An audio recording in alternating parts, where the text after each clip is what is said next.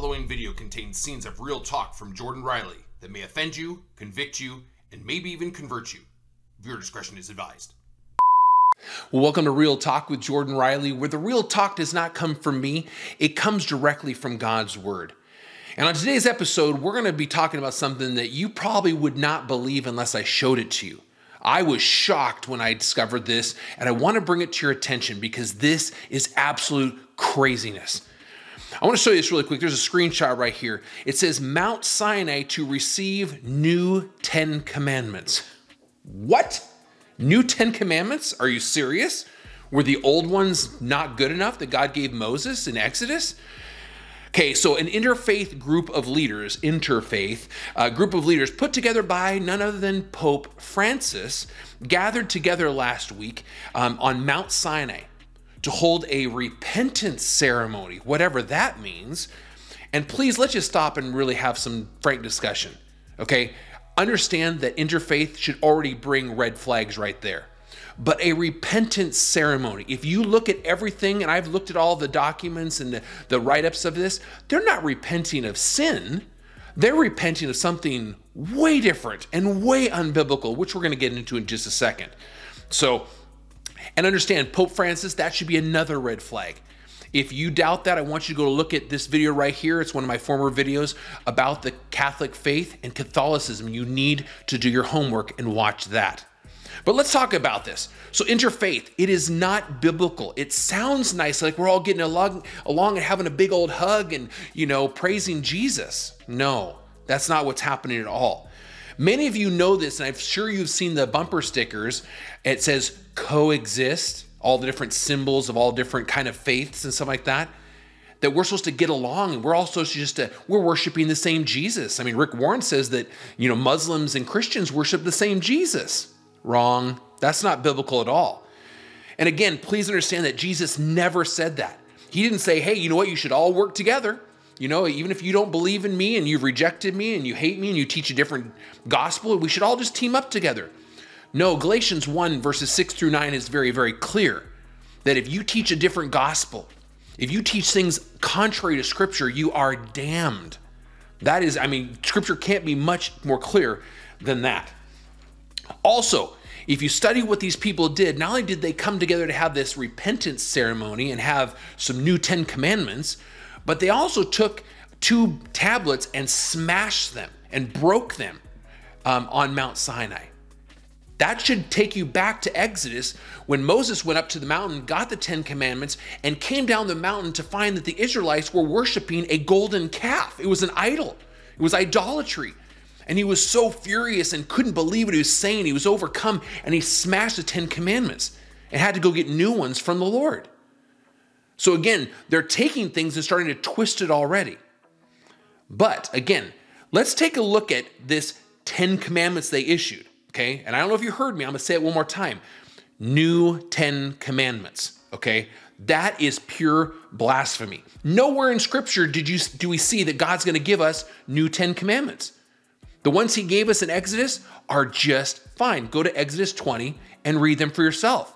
They're crystal clear and they have stood the test of time because God's word stands forever. Because so again, they're taking what happened in Exodus 31 18 with Moses, Mount Sinai, and they're mocking it. Please, I'm not going to mix words, you guys. This is satanic and demonic.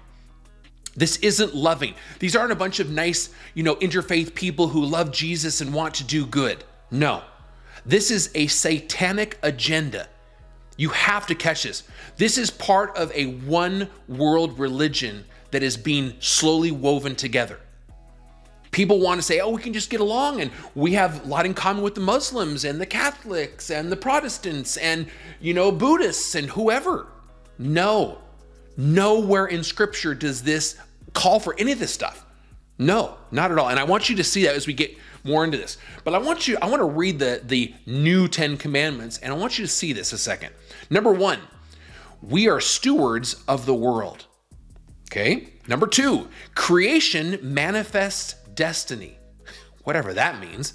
Number three, everything in life is interconnected. Number four, do no harm. Number five, look after tomorrow. Six, rise above ego for our world. Wow. Number seven, change our inner climate. What? Number eight, repent and return. Now that sounds nice, but there's no return to what? Repent of what? Number nine, every action matters. Duh. And number 10, use mind, open heart. Literally, as Chris Rosebrough puts it, that is a bunch of word salad. It's blah, blah, blah nonsense. This is completely almost pure new age, man centered garbage. It has nothing to do with the Lord, it has nothing to do with sin, it has nothing to do with holiness, it has to do with climate change. That's all this is. Let's just take care of the planet. We got to make sure we save the planet because of global warming and all this nonsense is going on. And please, do you not see the blasphemy that's going on here? Let's look at this a second. So, these people are interfaith, we've talked about. They're helping to promote a one world religion. Let's just all get along. We all worship the same God. We all can work together, okay? Which, okay, the Bible says will not happen. And if you look at Revelation, it does talk about the one world religion that the Antichrist is going to try to put together. See that going on. But here's a screenshot right here of the headquarters. They're set to open this year over in the Middle East. And guess what? It's an interfaith headquarters. Now, the funny thing about this, actually, it's sad, but Christians are not allowed to attend. They're not allowed to be there. Hmm, that's kind of interesting. Why would they keep Christians away from that place? If we're all supposed to get along, we're all supposed to work together, and we all worship the same God. Something's up there. Also, if you saw there, they came together to repent of climate change. Again, said no verse ever. Where in the Bible did Jesus ask us to repent of global warming? Or to repent of how we didn't plow the earth right or that we didn't take care of Mother Earth? Nowhere. It's not there. So please understand this. I'm going to show you a correlation and hopefully you'll see this. There is simple idolatry going on. Remember, Moses, when he first came down from the mountain, what did he get so mad about? He saw them worship the, the Israelites at the bottom of the mountain of Mount Sinai. They had melted all their stuff together to make a golden calf to worship. They had traded worshiping the one true God for an idol. Now, let's look at this interfaith, the Pope, New Ten Commandments. What are they worshiping? You've guessed it. They're worshiping the planet. Mother Earth, this world, that's their idol. That's the golden calf. You have to see this. This is so idolatrous, it's unbelievable. And you look at what Romans 1, verse 25 says God condemns those who worship created things rather than the creator. That's why this is so demonic. See, Satan wants us to get our eyes off the creator, off the one true God. He wants us to worship created things that have no eternal value. It's temporary. Also, Rabbi Neril, I hope I pronounced that right, authored just recently the Eco Bible. you can't make this stuff up, which describes ecology as achieving a more sustainable future in accordance with God's word. What? Again, yes, Genesis says that we're to um, rule and we're to take dominion over this planet, but I don't see where we need to worry about climate change and worry about, you know, being eco-friendly in the Bible. So they have to create something new. And please, I'm not going to mix any words. You have to hear this, you guys. Satan loves to counterfeit everything that God does. And that's why this whole thing with 10 commandments and the pope and interfaith is demonic. Let's not mix words here, okay? So you look at it. I mean, look what the you know the LGBTQ they came out with the queer Bible. Now these guys they've come out with the eco Bible. I guess God's word, the Holy Bible, is not good enough. That goes against 2 Timothy chapter 3 verses 16 and 17. See, these leaders are so worried about climate change, but God says, now this is crazy. Let's talk have some real talk here. God says that this world will implode and be burned with fire. Let's look at 2 Peter chapter 3 verse 10. This is what it says. It says, "But the day of the Lord will come like a thief, in which the heavens will pass away with a roar and the elements will be destroyed with intense heat, and the earth and its works will be burned up." Wow. So instead of this interfaith calling people to Jesus, calling people to repent, to come back to the Lord, get in His Word. No, no. They're worried about global warming.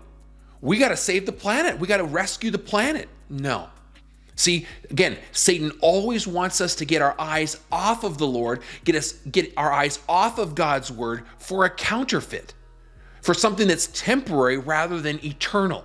Hebrews chapter 12, verses 1 and 2 says that we're to fix our eyes on Jesus, the author and perfecter of our faith. So when you hear interfaith councils or interfaith conferences, run. Please run fast and get out. Okay? Nowhere in scripture does it affirm interfaith anything. Okay? That is a different faith. Galatians, again, Galatians 1 6 through 9 is very clear. They are damned. They are teaching a different gospel. They're teaching a different Jesus, and they are on their way to hell. That's the sad part. We're lovingly, though, to correct them. Scripture is very clear. To point them to the gospel. That's clear. But remember, see again, even if you look at interfaith, it almost sounds like universalism that everyone's coming to Jesus, everyone's going to be saved. We're all one big happy family. We're all God's children, which is not true. John 1, verse 12 says, We're not all God's children, but only those who have put their trust in the Lord, which is by the will of God, in verse 13 of John 1, not on the will of us. But I want to remind you of this Matthew chapter 7, verses 13 and 14. Jesus says that narrow is the way that leads to life, and few are that find it. See, again, they would probably say, hey, everyone's going. We're all going to heaven. We're all just believing the same Jesus. Everything's great. Okay? I want to make it clear in this episode it's time to stop worrying about global warming. It's time to stop listening to the Pope because the Pope is an antichrist. I didn't say he was the antichrist, he is a antichrist. He goes against everything biblical. He is someone to mark and avoid. But I want to make sure that we are focused on Jesus. We are focused on God's word because of this. Jesus said in John 14, 6, I am the way, the truth, and the life, and no one comes to the Father but by me.